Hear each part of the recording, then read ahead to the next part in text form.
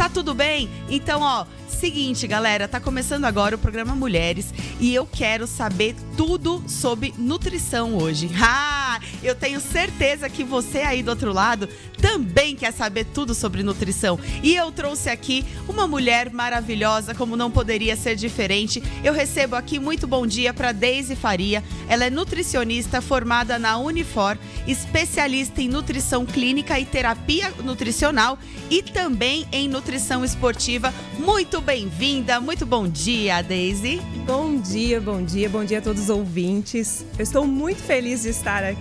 Estou encantada com essa energia, Mária. Estou vibrando aqui, é incrível. Ai. Bom, é um prazer falar com vocês, é um prazer falar de nutrição logo pela manhã. É verdade. Né? Que eu acho que o conhecimento transforma. Então vamos transformar os nossos ouvintes, vamos passar um pouquinho mais de nutrição para eles. Quem sabe eles já não começam hoje, né? A mudada de vida, a enxergar o alimento como de uma maneira diferente, não Exatamente, é Mário. O momento é propício, a época é propícia. Então vamos com tudo, nutrir e orientar os nossos ouvintes. Eita, que delícia. Então, ó, gente, para você que tá aí do outro lado, para você que tá assistindo a gente pelo nosso site, você não conhece o nosso site ainda? Então corre lá www.ondoestfm.com.br. Você vai poder ver essas duas belezuras aqui dentro do estúdio, ao vivo, em áudio e vídeo também. Ai, Marisol, mas eu tô no carro. Pode baixar nosso aplicativo. Ele também é compatível para iOS e Android e não ocupa quase nada de espaço no seu celular. Ah, não, mas eu não sei, eu quero assistir deitadão. Nós somos canais de TV, meu amor. Pois é, se você tiver a MAP TV aí na sua casa, a MAP Fibra, você deita aí ó, no conforto do seu lar, liga a sua TV, procura o nosso canal da Onda Oeste e vem participar junto com a gente. É o seguinte, eu tô aqui recebendo a Deise Faria, ela é nutricionista, formada na Unifor, especialista em nutrição clínica e terapia nutricional e nutrição esportiva também. Então nós vamos começar agora o nosso bate-papo com ela, lembrando que o nosso WhatsApp está aberto para perguntas de vocês ouvintes. Manda o seu alô, manda o seu bom dia, manda aquele cheiro aqui pra gente que a gente está precisando da sua energia também. Beleza? Então vamos lá. Deise, muito bom dia. Muito obrigada por aceitar, aceitar o nosso convite. É uma honra ter você aqui. E vamos começar falando o que é nutrição, na verdade. Bom, Maria, a honra é toda minha. Muito obrigada. Bom, nutrição é a base da vida. Né? É a ciência que estuda os, os alimentos, os, os nutrientes e o efeito deles no organismo humano, no corpo, no nosso corpo. Sim. Através da nutrição, através da alimentação, além de nutrir as nossas células, a gente dá vida, a gente dá luz para o nosso corpo. Né? É através da alimentação que a gente retém mais equilíbrio, a gente consegue equilibrar inclusive a parte emocional. É onde a gente busca o nosso sustento para o dia a dia, para as nossas atividades do dia a dia. E também é através da alimentação que a gente previne várias doenças né, através, a partir do momento da escolha que você coloca no seu prato, nas suas refeições do dia a dia, você consegue prevenir uma obesidade, um diabetes, uma hipertensão e inclusive vários tipos de câncer. Então, por isso eu considero a nutrição como a base da vida e da sustentabilidade do nosso corpo. A gente realmente é o que a gente come? A gente é o que a gente come e a gente é um pouquinho mais que isso. Além do comer, a gente precisa absorver. Hum, olha aí, a cereja do bolo. Exatamente. é, em resumo, de tudo que nós vamos falar aqui de hoje, é importante as escolhas nutricionais, mas é importante também como você coloca isso dentro do seu corpo. Porque os horários, as combinações vão influenciar na sua absorção. E o que você absorve é o que vai nutrir as suas células e deixar o seu corpo mais saudável e cheio de vida. E quando a gente faz escolhas melhores na hora de escolher os alimentos, né? Você, isso aparece assim no nosso cabelo, principalmente mulher que fala: "Ah, eu tô com queda de cabelo, eu tô com a unha meio lascando, é, eu não tô, a minha pele tá meio opaca, eu tô me sentindo meio assim inchada". Quando a gente escolhe melhor o que a gente se, do que a gente se alimenta, isso reflete também na nossa beleza exterior? Sim. A alimentação ela está ligada diretamente com as questões estéticas, Mari, que envolve o cabelo, a pele, as unhas e tudo mais. Né? A partir do momento que você oferece todos os nutrientes necessários para a base das células, o funcionamento dos seus órgãos, da, né, da sua pele, da renovação, isso é transmitido né, para o seu corpo para estar tá melhorando ou influenciando de forma negativa. E é importante porque a partir do momento que o seu cabelo, a sua pele, as suas unhas começam a refletir esses sinais, né, de deficiências, por exemplo, é sinal de que lá dentro a deficiência é muito maior. Porque a parte externa é a última a sofrer as consequências. Primeiro, as nossas células lá internas, lá bem dentro dos nossos órgãos, são afetados para depois chegar a afetar o nosso cabelo, deixar ele mais ressecado, deixar ele com queda, ou deixar a unha quebradiça, aquela unha que não cresce, aquela pele ressecada. Isso são indícios de que você realmente não está recebendo tudo aquilo que você precisa.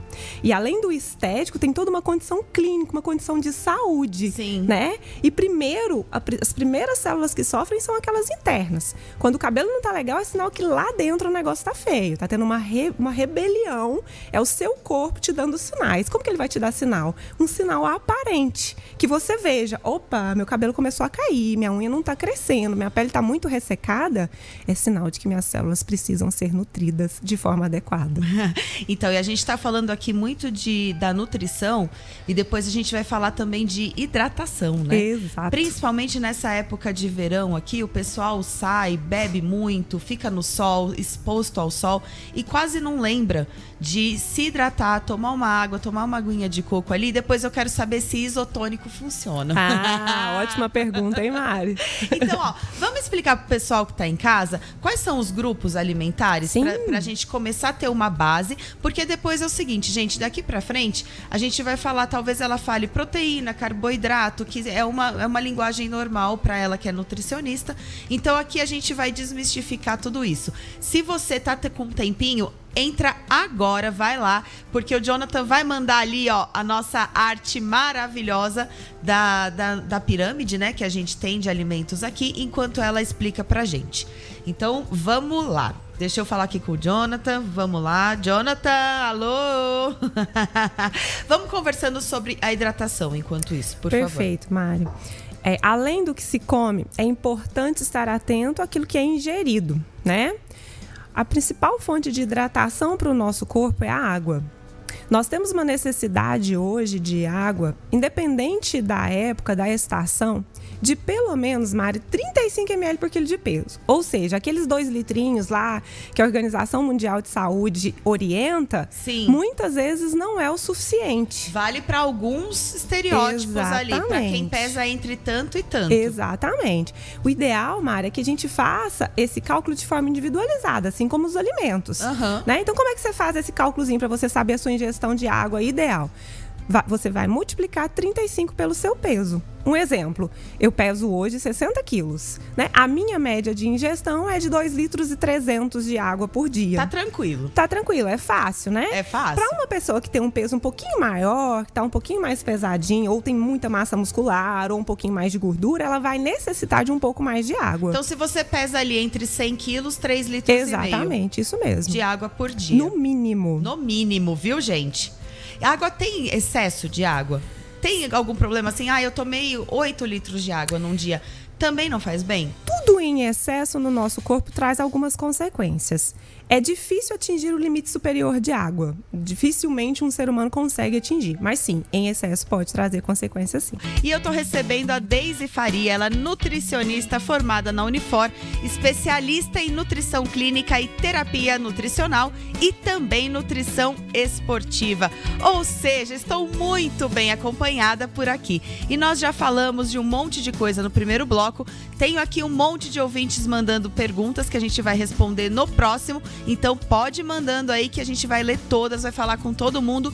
Eu juro por Deus para vocês que a gente vai ouvir todo mundo e responder todas as perguntas, beleza? Então vamos lá, ó. A gente ia começar a falar daquela pirâmide nutricional, né? Então vamos começar. O Jonathan já vai jogar ali pra gente. Bora lá, vamos explicar ali, ó, a base da pirâmide. Ela é uma base. Por que, primeiro, por que o formato de pirâmide, doutora? Bom, Mário, é o seguinte: a pirâmide é para ilustrar, para dividir e porcionar os grupos alimentares, para ficar mais fácil para a gente se organizar no nosso dia a dia. Uhum. A base, e ela é em formato de pirâmide para instruir aquilo que deve ser consumido em maior quantidade para menor quantidade. Ou seja, o que está na base é aquilo que mantém o nosso nível energético, é o que dá energia para o nosso corpo. Então a gente acaba consumindo mais porções ao longo do dia. Gente, lembrando você que está aí fazendo a desentendida, que a pirâmide é com o biquinho para cima, viu? Exatamente, Mário. Porque senão vai chegar na parte de cima e você falar, poxa, será que eu não posso inverter essa pirâmide? Não pode. então vamos lá, a base. Então, Maria, a base ela é dos, dos, grupos dos carboidratos, que são os pães, os tubérculos, os grãos, né? Então vamos, vamos citar, por exemplo, os pães para o café da manhã, os grãos, arroz, é, os tubérculos, batata, batata doce, cará, inhame para o almoço, uma semente pro, pro lanche da tarde e finalizar o dia com também mais uma porção de um pouquinho de carboidrato. Ou seja, a gente consome no mínimo cinco porções ao longo do dia, quatro a cinco porções para o dia. Por quê? Para distribuir e fornecer energia para o nosso corpo. Depois disso, Mari, vem a segunda etapa da nossa pirâmide, é, que são os vegetais, os legumes, as frutas né? Que boa parte do nosso dia deve ser é, basear, as nossas refeições devem ter porções distribuídas desses alimentos ao longo do dia.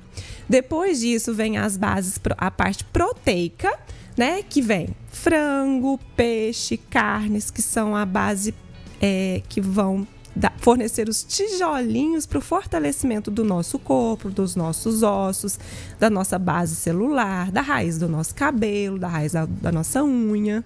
E aí a gente vai distribuir também em três a quatro porções ao longo do dia. E um pouco mais em cima, bem no topozinho, numa menor proporção, vem as gorduras, os óleos, os alimentos que são mais gordurosos, mas que de preferência sejam boas fontes de gordura, como por exemplo o abacate, o azeite, o óleo de coco, algumas castanhas, algumas sementes que são mais oleaginosas. Essa constitui a base da pirâmide, o topo da pirâmide, vem para nutrir o nosso corpo também, mas a gente tem que ter cautela com o excesso com a quantidade, porque são alimentos que são calóricos e são gordurosos. E o excesso de gordura gordura na nossa alimentação pode aí trazer uma má influência, um má desenvolvimento de algum desenvolvimento de doenças e outras coisas mais. Então, aí nesse bloco, o que, que eu queria falar? Por exemplo, agora acabou de terminar festas de final de ano, né? E aí tem aquele pessoal assim, que eu não sei quem fui, que, que chuta o balde, sabe? que manda o balde lá longe.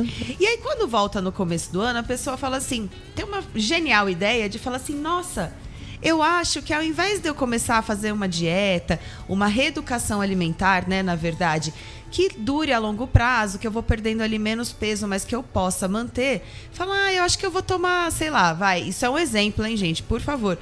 Ah, eu vou tomar sopa durante 10 dias pra, pra sair tudo, porque eu tô muito inchada, porque não sei o que, não sei o que lá. Só que aí depois desses 10 dias, o que que acontece? A pessoa não aguenta mais, aí vê um prato de macarrão, coloca lá um macarrão com um bife, com batata frita, com arroz, com feijão, com lasanha e aí faz aquela orgia. Então eu queria saber quais são os perigos e as, os problemas que vêm depois, a longo prazo, porque eu acho que nem é a tão longo prazo assim, dessas dietas malucas que o pessoal inventa de fazer para dar um susto no corpo antes de procurar um profissional e procurar realmente uma reeducação alimentar. Bom, Mari, você citou algo que nesses dias, né, é o que a gente mais ouve falar. As pessoas elas vieram de um momento aí de confraternizações, de encontros, onde nós todos estamos mais propícios a comer um pouquinho mais, a beber. Normalmente diminui o ritmo de atividade física, enfim, e desestrutura toda a nossa rotina alimentar.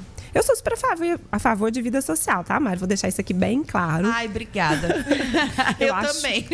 eu acho importante sentar, confraternizar, comer um bom prato, experimentar várias coisas.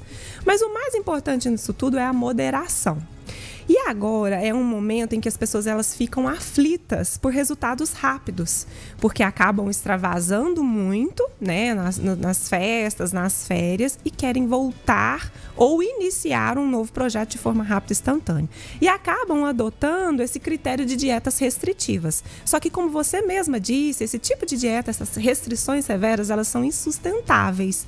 Por quê? A partir do momento que você reduz muito o valor calórico, você reduz muito aquilo que você come ao longo do seu dia, o seu corpo vai te dar alguns sinais. Sinais de fraqueza, de mal-estar, sinais na função intestinal. Dor de cabeça. No raciocínio, na concentração e tudo mais. E aí, e além disso, ainda tem. Eh, você vende é, excessos que causam mais vícios. O seu paladar está viciado nos doces, nas gorduras, no álcool. Então, o seu corpo está pedindo aquilo o tempo todo. Você tem que sustentar isso, você tem que lutar contra isso durante todo o tempo e ainda lutar contra a restrição de nutrientes que você fez.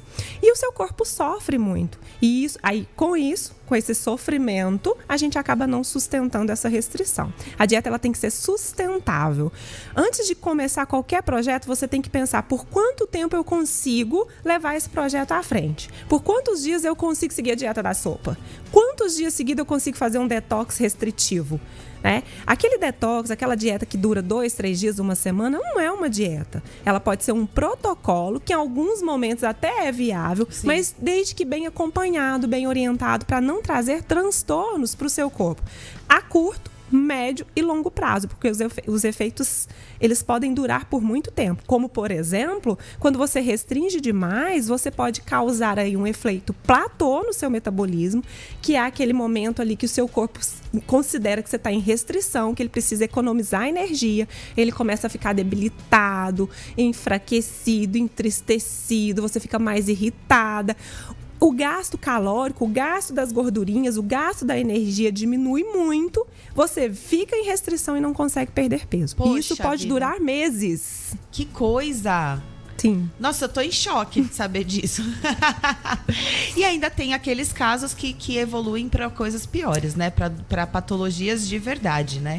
Exatamente, Mari. Quando a gente faz dietas muito restritivas, é, nós, nós, elevamos o nosso corpo a um nível que pode desenvolver uma compulsão alimentar, uma um transtorno de ansiedade. Muitas pessoas desenvolvem aí compulsões por doce, porque o corpo está muito enfraquecido, necessitado de energia. Então, o consumo do açúcar, da farinha branca, que tem uma absorção muito rápida, aí o seu corpo fica pedindo aquilo o tempo inteiro. Então, fica quase que é, é, é difícil de res, resistir e aí você aumenta o consumo desses açúcares, desses doces, elevando o nível de glicose no seu sangue, alterando o funcionamento das suas células, dos seus hormônios, podendo induzir a um diabetes. Né? Um diabetes também, Sim. podendo induzir uma hipertensão pelo excesso de alimentos com açúcar e sódio e várias outras coisas. Que coisa, né, gente? Vamos, vamos ouvir os ouvintes aqui? Vamos, vamos ver sim. o que, que eles estão perguntando? Então vamos lá. A Verinha tá participando por aqui, ela sempre vem junto com a gente. Bora lá. Oi, Verinha. A paz do Senhor esteja com você hoje e amanhã, sempre te protegendo, te guiando e te abençoando. Amém. Bom Nossa, eu tenho duas você, coisas para falar com você, Mari. Diga. A primeira, que você não é novela não, mas eu te acompanho. E a segunda que eu acho que o Sophie chegou para ficar. Chegou, chegou chegando, como diz a música, né? Alô, doutora Ednei, professora Caroline, todos do Reabilitar, doutora Gabriela da Arma, todos da Arma, pessoal do JO, pessoal do Oeste, pessoal do Marco Polo. Fica com Jesus, onde ele passa, nada embaraça, valeu? Fui. Da pergunta, Verinha. Resolvi te apagar tudo que eu digitei e te mandar por áudio. Mari, o negócio é o seguinte: mãe ah. teve problema com leite convencional em pó e o médico dela mandou que ela usasse o, zero, o leite ninho zero lactose. Ela tá usando, entendeu? Tá bem melhor. Fiz o exame nela, ela não tem intolerância à lactose, entendeu? Eu também não tenho. Então a minha pergunta é a seguinte: o leite em pó zero lactose, ele é melhor do que os outros leite em pó que não são zero lactose? Obrigada, escapuliu o dedo, tá, doutora? Que Deus abençoe a senhora no seu trabalho e você também, Mari. Muito obrigada pela sua participação, Verinha. Tá vendo? Se você quer participar também, é só mandar seu WhatsApp 3799866 1003. Vamos lá, a pergunta da Verinha sobre o leite pó e o leite sem lactose, né? Então, por favor. Oi, Verinha, bom dia para você. Que Deus te abençoe infinitamente, tá? Obrigada pela pergunta. É o seguinte, Verinha, infelizmente, é, nós temos vários níveis de intolerância e vários sintomas que às vezes não aparecem quando a gente faz o exame nem sempre, quando é uma intolerância leve, nem sempre vai aparecer no, no, exame mesmo. Mas o nosso corpo demonstra sintomas porque o leite tem características inflamatórias. Né? A lactose tem características inflamatórias e a caseína também, que é a proteína do leite. A sua pergunta sobre o leite em pó é o seguinte: para essas pessoas que apresentam sintomas, sim, o leite sem lactose em pó é melhor do que os outros. Porque se a lactose causa ali uma fermentação, um nível de inflamação no seu corpo, o melhor, o mais conveniente é evitá-la. E uma das opções é ingerir um leite em pó sem lactose. E ele é melhor, inclusive, do que o leite de caixinha sem lactose. Porque o leite de caixinha ele tem vários aditivos químicos que não são considerados legais para o nosso corpo. São substâncias para manter ele ali na caixinha, para preservar. Então, o leite em pó ele tem menos desses aditivos e então ele é melhor sim para o nosso organismo. Mas só é necessário para as pessoas que apresentam intolerância, assim como a sua mãe. Isso aí, tá vendo? Respondida a sua pergunta, Verinha. E aí é o seguinte, a gente estava falando aqui sobre aquelas dietas muito restritivas, né? E pro pessoal que fala assim: "Ai, gente, tá bom, eu tava fazendo uma dieta restritiva, vi que não tá certo, mas como que a gente começa uma dieta certeira assim, sem sof muito sofrimento? Quantas vezes a gente deve comer por dia?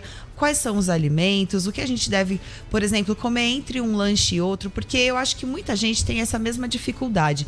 Até na hora do almoço você vai bem, na dieta.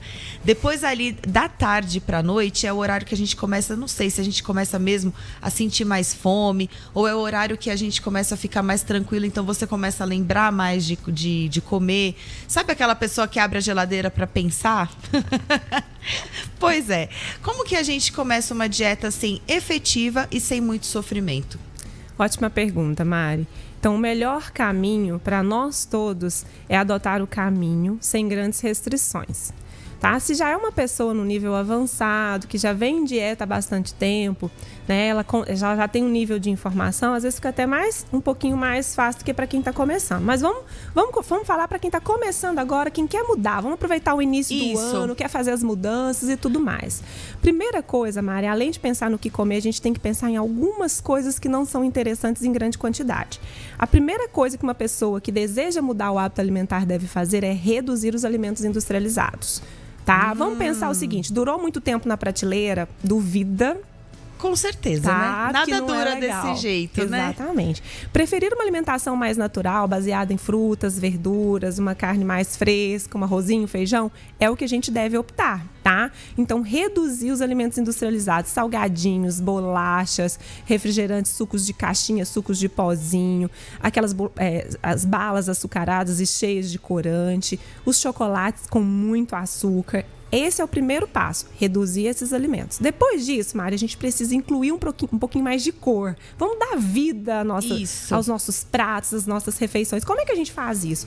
Inserindo verduras, folha verde escura, é, é, cores amarelo alaranjados, ricos em vitamina E, em vitamina A. Por exemplo, abóbora madura, manga que agora é época, mamão, né? As verdes escuras e os avermelhados e assim por diante. Distribuir cor ao longo do nosso dia, através das frutas, dos vegetais e dos legumes.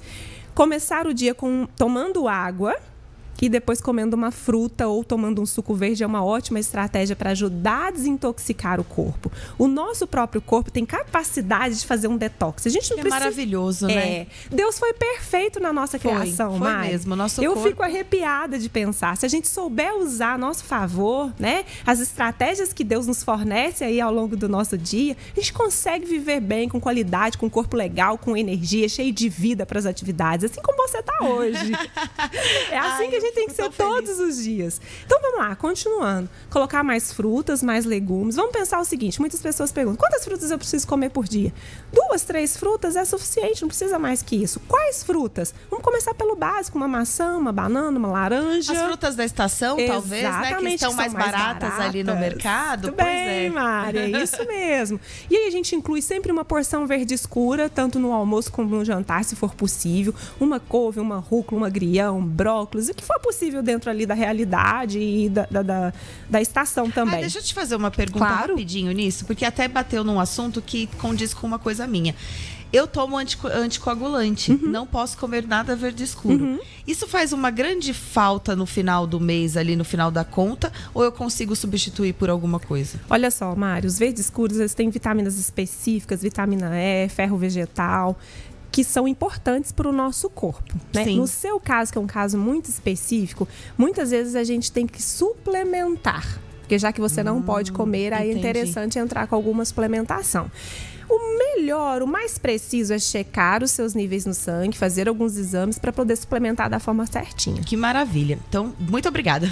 vamos, vamos lá, então, continuar. A gente estava falando de deixar o prato bem colorido. Né? Exatamente. Né? O prato e as pequenas refeições. Porque muitas vezes ao longo do. Ah, no meio da manhã, por exemplo, é um grande erro que eu vejo dos meus pacientes, as pessoas com quem eu converso, comentando. Toma um café rápido pela manhã, come um pãozinho francês que tem uma absorção rápida, que não vai te sustentar rapidinho tá com fome de novo.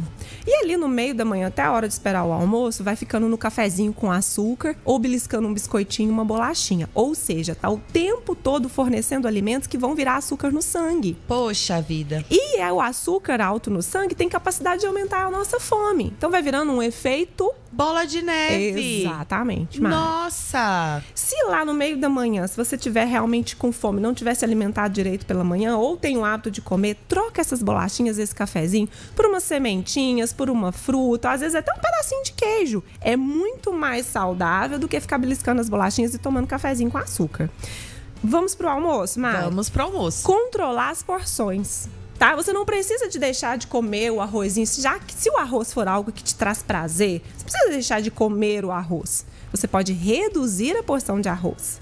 Você pode também controlar. Lembra que a gente falou dos grupos? Os Lembro. grupos dos carboidratos? Uhum. Então, a batata, o macarrão, uh, a mandioca é, faz parte do grupo do arroz. Eles são parentes ali, eles vão virar açúcar no sangue. Eles brigam se você puser junto no prato. Exatamente. São primos que não se dão bem.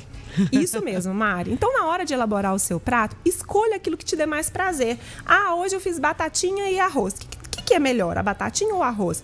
O que é melhor? Aquilo que te dá satisfação, mas que você vai conseguir controlar a quantidade também. Então coloca uma menor porção, coloca bastante verduras, folhas, vegetais, legumes ali no prato, uma boa fonte de proteína. Vamos lembrar o que são as proteínas? Vamos Carnes, lembrar peixe, frango, boi, né? E os ovos, que é uma excelente fonte proteica. Beleza, nós temos um prato equilibrado, colorido, fornecendo ali todos os nutrientes e eu tenho certeza que você não vai passar fome. É isso aí, tá vendo? Porque acontece muito, sabe o que eu vejo? Eu vejo até em amigas minhas, eu também, que já fiz um milhão de tipos de dietas e tal. O que, que, acontece? Quando você começa, você começa tão empolgado que às vezes você mesmo começa a querer tirar coisa do seu prato. Só que aí fica insustentável, porque aí chega a noite você tá com uma fome. Por quê? Porque você comeu menos do que você poderia ter comido. Uhum. Então, ó, gente, o negócio também é controlar a ansiedade, né? Quando vai começar com perca de peso, tentar perder peso, controla a ansiedade, porque todo mundo quer dormir de um jeito e acordar de outro, mas isso é impossível. Porque você não acordou assim de um dia para o outro, né? Então é isso aí. Ó, vamos lá. Fazer dieta é caro? Você iniciou já com com um grande mito da nutrição, né? Na, na, verdade, as pessoas criam algumas coisas, internalizam algumas coisas, e uma delas é que fazer dieta é caro. Caro, Mari, é comprar produtos. Eu ia citar o nome de um produto, mas eu, eu decidi não falar. Entendi. Caro é comprar produtos industrializados no mercado, produtos que é, necessitaram de uma grande demanda, então por isso tem um custo financeiro muito alto. Uhum. Uma alimentação mais baseada em frutas, vegetais, ovos, carnes, arroz, feijão é super barato. Então, fazer dieta não é caro. Caro é depois investir em medicação, em consultas médicas, exames caros e tratamentos invasivos. Isso é caro e oneroso para nossa saúde, para o nosso corpo e para o nosso bolso. Ó, tá vendo? Beber líquido durante as refeições engorda? Não engorda. O que pode acontecer é o seguinte, mas depende do tipo de líquido. Se esse líquido é açucarado, então você está agregando calorias ali na sua Ou refeição. Gaseificado também? Vou explicar. É, então, se tá, você está agregando calorias de açúcar, principalmente ali na sua refeição, com um refrigerante, ou até mesmo com um suco natural cheio de açúcar, uhum. então ele vai agregar calorias que ao, que ao longo do dia pode te fazer ganhar peso, certo? Certo. Mas o líquido em si, ele vai fazer distensão abdominal, que é deixar o abdômen mais distendido. Ele pode atrapalhar na absorção de vitaminas, certo? E é, atrapalhar no seu padrão, no seu comportamento alimentar. Tem algumas pessoas que conseguem comer mais quando está tomando líquido. Outras não, mas enfim, pode hum. influenciar no comportamento alimentar. Entendi. Fruta engorda? Fruta não engorda. Independente da porção? Não, Maria, é o seguinte: o excesso em todas. Tudo de, dá problema. Exatamente. Todo tipo de excesso vai causar transtornos para o nosso corpo. Mas a gente faz uma soma do que foi consumido ao longo do dia. Então, se você começou o dia com frutas, depois comeu um doce, depois encheu o prato de arroz, de macarrão, não é a fruta que te engordou. Ah, é a somatória daquilo tudo ao longo do dia. Entendi. Cerveja aumenta a barriga? a pergunta do brasileiro. Essa é a pergunta que não quer calar, né, Mari? Não. Vou fazer até um suspense. Será? Será? Será? Uh, que rufem os tambores. Bom, Mari, eu vou dizer que sim. Porque sim, cerveja ela é fermentada através de um carboidrato, então ela tem uma porção de carboidrato, ela tem álcool, então ela tem um valor calórico que é significativo. Ninguém consegue, a maioria das pessoas não consegue ficar só numa cervejinha, tem a necessidade de um grande volume, então aumenta-se mais a ingestão de calorias ao longo do dia. E a maioria também não consegue comer, tomar cerveja sozinho, tem que comer algo para acompanhar. Uma beliscadinha, então, né? E aí, Mari, agora eu devolvo a pergunta hum. para você. Cerveja aumenta ou não aumenta a barriguinha? Muito. Desse... É verdade que cerveja é um pão líquido? É um pão líquido. Pois Pelo é. volume então, de carboidrato, sim. Ai, meu Deus do céu. Produtos diet ou light podem ser consumidos à vontade? Não, não tem necessidade. É, não tem necessidade. Dá para começar não há necessidade de consumir produtos diets light, a não ser aquelas pessoas que são diabéticas, que têm uma doença característica que há necessidade disso, certo? Maravilhoso. Mas não tem e não podem ser consumidos à vontade, porque eles têm outros nutrientes ali, inclusive tem valor calórico. Então, lembra do que eu falei? A gente só vai engordar na somatória do dia. Então, se você exagera em maçã, em alface ou em produtos diets ou lights, no final do dia o seu corpo vai somar e o que sobrou ele vai estocar. Entendi. O nosso corpo, ó. Antigamente, isso é uma pergunta muito, assim, que me, me vem sempre. Antigamente, eu lembro meu pai gostava muito de comer ovo. E a minha mãe falava assim: não pode comer tanto ovo porque tem dá colesterol. Aumenta o colesterol e não sei o quê. E hoje em dia, depois de um tempo, o ovo virou um grande aliado da dieta. Tem muita gente que come ovo de manhã, come nos lanches da tarde e tal. Qual é a verdade sobre o ovo? Ó, já vou começar desmistificando. Isso. Ovo não aumenta colesterol, tá? A gordura animal, de uma forma geral, pode influenciar no aumento do LDL, que é o colesterol ruim, mas o ovo ele tem uma característica em particular que ele pode favorecer ao aumento do HDL, que é o colesterol bom. Ah. Então é ao contrário, o ovo pode ser inclusive favorável para o controle do colesterol. O que vale também é a forma de preparo que você vai acrescentar nesse Não ovo. Não vai fritar o ovo, vai né, fritar gente? o ovo, vai acrescentar bacon, muito queijo. Aí sim, a preparação aumenta o colesterol. Muito bom. Chocolate da espinha. Chocolate da espinha, sim. Ai. Mari, infelizmente, principalmente certeza. se for aquele chocolate cheio de açúcar. Ao leite, assim, isso, bem docinho. Isso, exatamente, porque ele aumenta a glicação, a fermentação ali na pele, favorecendo para o processo inflamatório. E o chocolate, lembra que antigamente eles falavam de alimentos quentes, alimentos o chocolate ele tem essa característica. Então, as pessoas que têm predisposição para espinha, se comem muito chocolate, pode aumentar sim a produção. E essa aqui é uma pergunta que eu me inspirei lá nos filmes e séries que a gente assiste, que eles falam assim: não pode dar doce para criança à noite porque ela não dorme. Açúcar realmente deixa a criançada ou também barra adultos agitados? Mari, sim tanto à noite quanto ao longo do dia. Mas à noite pior ainda, porque é o momento do nosso descanso, né? Sim. Por que, que o açúcar faz isso? Ele aumenta o nível de glicose, produção de insulina, ele produz serotonina. Por que, que a gente tem prazer quando come doces? Hum. Não dá um prazerzinho, ah, assim? Dá, uma coisa dá, boa? Dá. Porque aumenta o nível de serotonina, então deixa a gente um pouco mais agitado. E, e altera também os hormônios insulina e leptina, que influenciam na hora de produzir o hormônio do sono. Hum, que é a melatonina. Então, é. aumenta a insulina, aumenta a leptina, diminui a melatonina, que são hormônios. Vocês nem precisam gravar tudo isso. Mas, enfim, influencia nas nossas estruturas hormonais, atrapalhando no sono e também trazendo, às vezes, até irritabilidade, porque o nosso corpo quer mais, e ansiedade. Ai, ai, ai. Vamos dar voz aqui aos nossos ouvintes, que eu prometi para todo mundo que ia falar com todo mundo. Tem que falar com todo mundo agora. Vamos falar com todo mundo. Vamos lá, deixa eu ver aqui, ó. Olha, mandaram aqui uma coisa para você, ó. Parabéns, doutora Deise. Eu estou seguindo a dieta, mas por causa do meu tratamento, né? É, eu estou meio afastada, mas eu adoro a doutora Deise. Meus parabéns, viu, doutora Deise? A melhor nutricionista que eu já conheci. Deixa eu ver o nome dela aqui para você, ó. É a Selma, ah. Selma Santos. Aí ela mandou uma foto aqui de um liquidificador todo bonitão. Vamos ver que ela tá batendo lá? E suco de couve com pepino, hortelã e limão todo Ai, dia de delícia. manhã, doutora Ela mandou uma foto, mandou aqui os pratos dela. Deixa eu ver aqui. Falar no ar, mas é porque eu tô com câncer, né?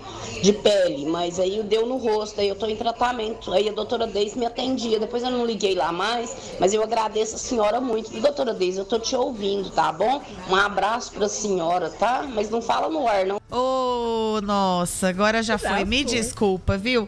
Mas aqui, ó, a doutora Deise tá aqui toda feliz com você. Ela mandou aqui as fotos da dieta dela. Que gracinha. Tem vários pratos muito bonitos aqui. Nossa, gente. É um mais bonito que o outro. Parabéns. Olha, ela tá seguindo direitinho, viu? Aqui teve um meninão aqui que me mandou uma mensagem, mas ele amarelou. é o Teus, amarelou. Deixa eu mandar. Oi, Barreirito, bom dia para você também. Então, ó, vamos fazer o seguinte. Agora, nessa época, tem muita gente pegando gripe também, né? E aí, o que, que eu queria? Pedir para você, para a gente encerrar a nossa, a nosso bate-papo de hoje. Eu não queria ir embora, mas eu vou precisar.